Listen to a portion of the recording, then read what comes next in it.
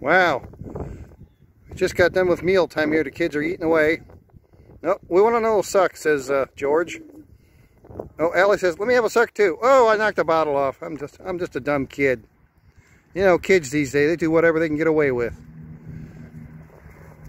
Now we're just having a little bit of recess time as Brenda runs along with the kids. Fun, fun, fun, fun. Those kids. Jumping and carrying on. Just kids, kids, kids, kids. Yeah, Brenda's having a good time with the kids. Run, run, run, kids. Don't, don't let Brenda get away from you. No, no, we want more. Oh, no. George says, more, please. Allie says, let me have some, too. Hey, we're sucking air here. Hiccup? Oh, these kids today. Okay, let's go back in. Now we're going back in. Oh, hi, sweetie. You're still here? Oh, Brenda's taking the kids back home. This is where they live. It's a little old miniature barn, but they call it home.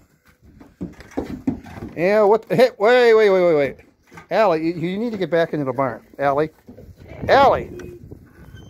The door just shut. Allie, get back in here. Get back in here, Allie. Now, Sweetie's going in too. Oh my goodness. I'm going to shut the door. Good night, kids. Have a good evening.